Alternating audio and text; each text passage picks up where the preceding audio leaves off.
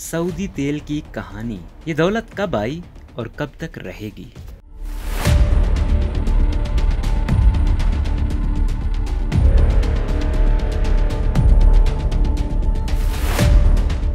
आज से ठीक छियानवे बरस कबल यानी 11 जनवरी 1926 को मुमलिकत सऊदिया का कयाम अमल में आया था। सऊदी अरब की मीशत के फैलाव और वहाँ मौजूद तेल की दौलत की कहानी। सबसे पहले दो सवाल। दुनिया में पहली बार तेल के लिए कहाँ ड्रिल किया गया था? और दूसरा ये कि आलमी तखमीनों के मुताबिक किस मुल्क के पास खाम तेल के सबसे ज़्यादा जखायर मौजूद हैं? अगर आपने इनमें से किसी भी सवाल का जवाब सऊदी अरब दिया तो आप गलत हैं। सबसे पहले तेल चौथी सदी में चीन में ड्रिल किया गया था। इस ड्रिलिंग के लिए कोई मशीनें मौजूद नहीं थी, इसलिए ऐसा लंबे लंबे बांसों की मदद से किया गया और काले रंग का चिपकने वाला मादा निकाला गया, जो बाद में ईंधन के तौर पर इस्तेमाल हुआ। तेल बरामद करने वाले ममालिक की तंजीम ओपेक के मुताबिक इसके मम्बरान ममालिक में 2018 के अख्ताम तक के आदाद शुमार के मुताबिक सबसे ज़्यादा खाम तेल के जखायर लातीनी अमेरिका के मुल्क वेनेजुएला के पास हैं, जबकि दूसरा और तीसरा नंबर बिलतरतीब सऊदी अरब और ईरान का है। वेनेजुएला के पास तीन सौ दो इशारिया इक्यासी बिलियन बैरल तेल के ज़खायर हैं, जबकि सऊदी अरब के पास ये ज़खायर दो सौ सतासठ इशारिया ज़ीरो तीन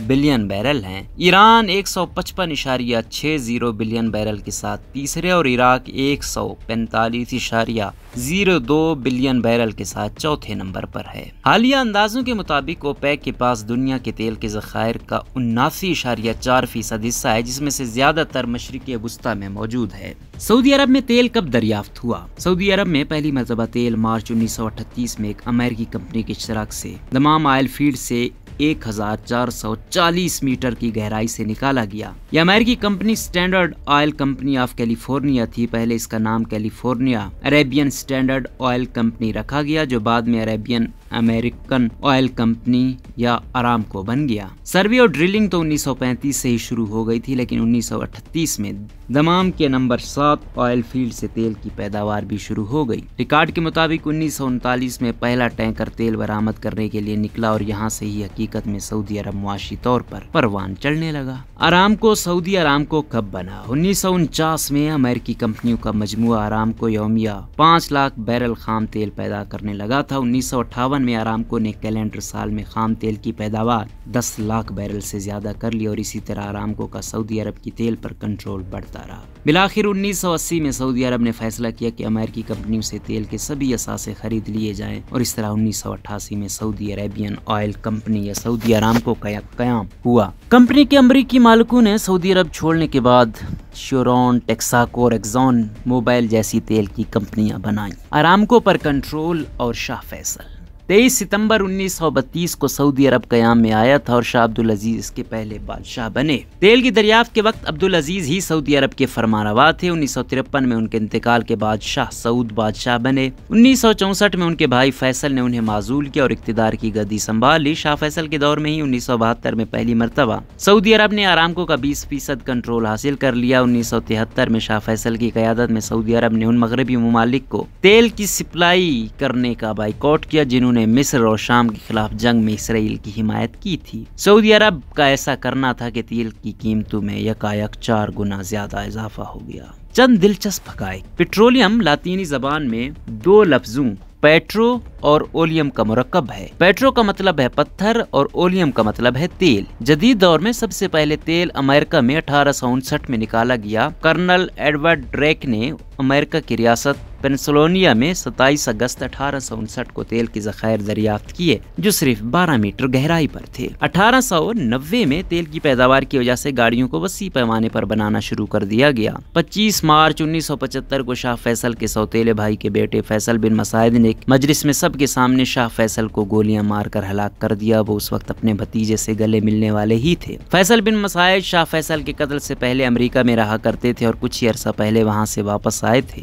फैसल बिन मसायद का उसी साल 18 जून को सरकलम कर दिया गया। शाह फैसल के बाद उनके भाई खालिद सऊदी अरब के बादशाह बने। सऊदी अरब के पेट्रोलियम के जखायर, क्या सच क्या झूठ। इस वक्त सऊदी अरब के पास दुनिया के 18 फ़ीसद पेट्रोलियम जखायर हैं और पेट्रोलियम बरामद करने वाले ममालिक में सर फहरिस्त है, लेकिन इसके साथ साथ ये सवाल भी है कि क्या ये मौजूद द ज़ख़ायर के हवाले से आदाद शुमार बिल्कुल दुरुस्त है? गुजशत पाँच दहाइयों से इस सवाल का जवाब तेल के ज़ख़ायर के माहरीन के लिए एक राज है। तेल बरामद करने वाले ममालिक की तंजीम ओपैक के दो हज़ार पंद्रह के अंदाजों के मुताबिक सऊदी अरब के पास दो सौ सतासठ अरब बैरल तेल के ज़ख़ायर मौजूद हैं। और अगर ये आदाद शुमार दुरुस्त हैं तो सऊदी अरब का तेल आइंदा सत्तर सालों में ख़त्म होगा। इसी हिसाब के लिए रोज़ाना बारह लाख बैरल के इस्तेमाल का अंदाज़ा लगाया गया है। ताहम सऊदी आदाद शुमार के बारे में शकूक मौजूद है। उसकी वजह यह है की उन्नीस सौ सतासी में सऊदी अरब ने अपने जखायर की तादाद के बारे में कहा था कि वो 170 अरब बैरल हैं। ताम उन्नीस सौ में उन्होंने इस तखमीने की तादाद बढ़ाकर 260 अरब बैरल कर दी थी। 2016 के statistical review of world energy के मुताबिक सऊदी अरब अब तक चौरानवे अरब बैरल तेल फरोख्त कर चुका है। ताम उनके सरकारी जराये के मुताबिक उनके पास अब भी 260 से दो अरब बैरल तेल मौजूद है। अगर हुकूमती इतलात दुरुस्त हैं तो इसका मतलब ये है कि या तो सऊदी अरब ने तेल के नए जखायर दरियाफ्त किए हैं, या फिर उन्होंने मौजूदा जखायर का दोबारा जायजा लेकर उन्हें तब्दील कर दिया है। जखायर में इजाफे का मतलब ये भी हो सकता है की जिन ठिकानों से तेल बरामद हो रहा है, वही और तेल निकल आया है और या वो कुएँ फिर से भर गए हैं। सऊदी अरब में उन्नीस सौ छत्तीस से उन्नीस सौ सत्तर के दरमियान तेल के बेशुमार जखायर दरियाफ्त हुए, इसके बाद कदरी नए दरियाफ्तें नहीं हुई। मसला यह है कि जहाँ जहाँ तेल की पैदावार हो रही है, उसकी तफसीलात या ज़खायर के बारे में हुकूमत हर बात खुफिया रखती है और उसकी तफसील कुछ ही लोगों को मालूम होती है। ऐसे में किसी भी बात की तस्दीक करना मुश्किल है। माहरीन भी ये बात यकीन से नहीं बता सकते कि सऊदी अरब में तेल की पैदावार कब कम होनी शुरू होगी। तेल के ज़खायर का तखमीना लगाने का एक तरीका यह है कि इस बात का अंदाज़ा लगाया जाए कि पैदावार शुरू होने से पहले कितने ज़खायर मौजूद थे। इस अंदाजे को ओ ओ आई पी कहा जाता है। उन्नीस सौ सत्तर की दहाई में इस बात पर इतफाक राय मौजूद था कि सऊदी अरब में पाँच सौ तीस अरब barrel O O I P मौजूद थे। सऊदी ओ आई पी के बारे में मालूम सऊदी अरब और अमरीका की मुश्तर कंपनी आरम के लिए अमरीकी